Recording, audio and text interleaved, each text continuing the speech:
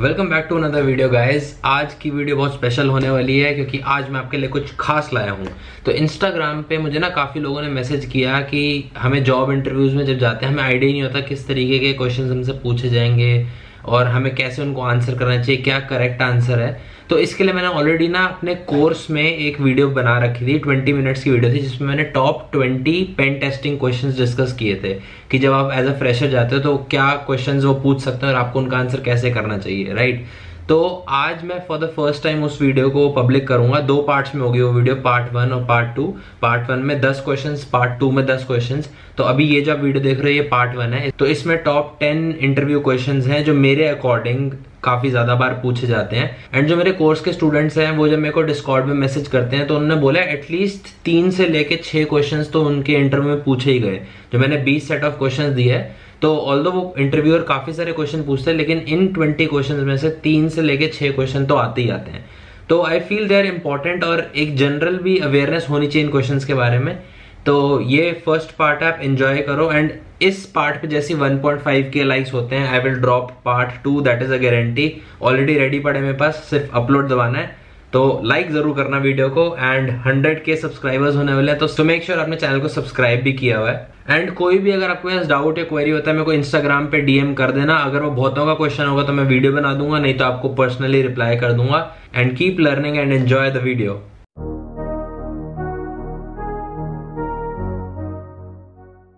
In this video, I will be discussing about 20 most frequently asked questions. Now, I have prepared a list of questions along with their answers. These question and answers I have compiled from my experience and from internet. So few of these answers have been written by me in this document while others are from the internet. The aim of this video is to list down 20 such questions that are most frequently asked during an interview so if you are a fresher or a beginner and looking for a job, then these 20 questions you must know. So let's begin with the very first question. What is pen testing? So I have listed down answers also. I'll just read them out and if there is a need of explanation, I'll explain them. Let's start with the very first question. What is pen testing? So pen testing is basically a practice of exploiting vulnerabilities in a computer system to gain access and gain higher privileges by exploiting the misconfigurations and other security flaws. So till now in this course we have learned like how to exploit some services running on some ports and then gain higher privileges. So that process as a whole is known as pen testing. Coming to the second question, what is the CIA triad? Now this is one very easy and an important question so C stands for confidentiality, I stands for integrity and A stands for availability. These three are the most important pillars of security to show impact of any vulnerability. Impact on confidentiality integrity or availability should be there. So if you have found a vulnerability just analyze that. Does it have an impact on c i or a? If the answer is yes then you can report it Coming to the third question, what is XSS and what are the three types?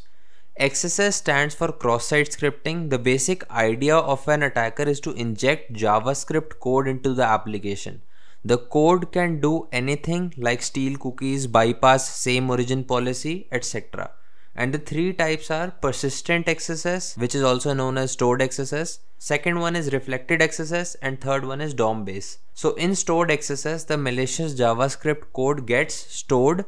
Example, there is a name on your profile. So if an attacker is able to inject the code there and the code gets stored there, then that is stored XSS. Reflected XSS means that malicious JavaScript code is not stored, rather it is reflected as an error or reflected as a value. So for example, if you go on any e-commerce site and search for any product, let's say you search for bicycle. So bicycle is reflected back like thousand results found for bicycle. So it is being reflected and there if you are able to inject JavaScript then that is known as reflected XSS. Third one is DOM based XSS. So basically JavaScript mishandles the input and attacker tries to access and maliciously modify the end user input it can be found in document.url, document.location if these are being used in the code. Coming to the fourth question, what is a CSRF attack and how can it be prevented? So CSRF stands for Cross Site Request Forgery. In this attack, the victim unknowingly performs an action like purchasing, delete, add, edit, etc. It can be prevented by using a CSRF token which is a very unique value and it should be checked properly. Also, it can be confirmed that the request is coming from the same origin or not and the third point is using a double submit cookie so in double submit cookie two unique values are being checked that whether the request has been tampered with or not next question is how does traceroute or tracert work? So there's a spelling mistake here. It should be an e at the end. Traceroute and tracert work to determine the route that goes from the host computer to a remote machine. It is used to identify if packets are redirected take too long or the number of hops used to send traffic to a host. By now you must be familiar with this because we have already seen a practical regarding this and it should not be any problem. What are some ways to avoid brute force hacks? So the answer is pretty simple. Apply rate limiters to stop authentication after a certain amount of attempts and lock the account. For example, an attacker tries to brute force. So let's say you have implemented rate limiters after 20 requests he should not be able to get more tries so this is that point second point is ip addresses can be banned for a particular cooldown period for example if lot of requests are coming from a particular ip that ip can be banned for like 5 minutes and then he should be allowed again after this cooldown period the last point is using captcha mechanism so if the captcha is implemented properly, then an attacker cannot do brute force attacks. What are common ports to focus on during penetration testing? I have listed down few, but there are more and we have already learnt about them. So first one is FTP which runs on port 20 and 21. Second one is SSH port 22. Telnet which runs on port 23. SMTP which runs on port 25. HTTP which runs on port 80 and HTTPS which runs on port 443. So the next question is scenario based. The interviewer can ask, we have a firewall in place. Do we still need network penetration testing if we have a firewall? So let's see what the answer is. Firewall is used for analyzing traffic and blocks it based on predetermined configuration. That means there are certain rules that are given to firewall but any attacker can still bypass that firewall if his payload is not identified by the firewall. So while penetration testing checks for exploitability of IT assets including the firewall is necessary. Penetration testing is a necessary activity even all the network components are in place even then we need to perform this because there can be some errors misconfigurations that an attacker can exploit. Let's go on to the next question. So what are the different open source pen testing tools? So you can name any. I have listed down few. The most important ones are Wireshark, Metasploit, Nikto, Nmap and OpenVAS and we are familiar with most of them. So let's go to the next question. What is the difference between asymmetric and symmetric encryption?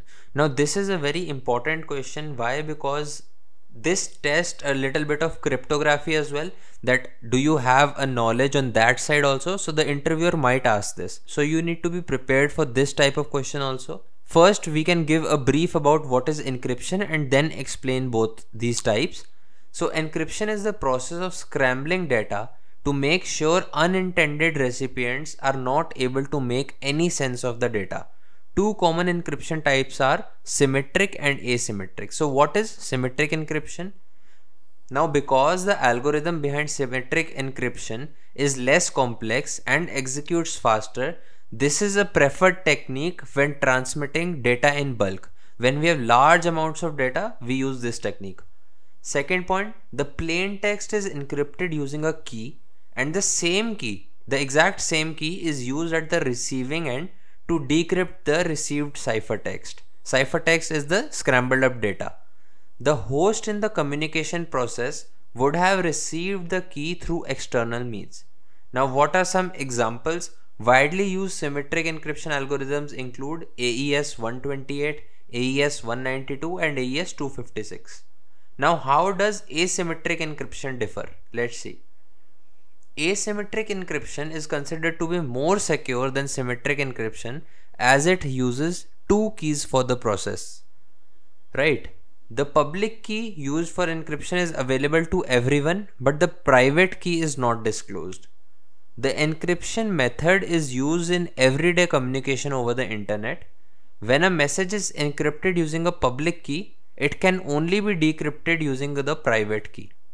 And that private key should be corresponding to that public key only. However, when a message is encrypted using a private key, it can be decrypted using a public key. That's fairly easy to understand. Now digital certificates in the client server model can be used to discover public keys. The drawbacks of this encryption is that it takes more time than the symmetric encryption. So that is why we said earlier in symmetric encryption that if we have a lot of data then this particular encryption mechanism is followed. What are some examples? So common asymmetric encryption techniques include RSA, DSA and PKCS. RSA and DSA are the most popular ones.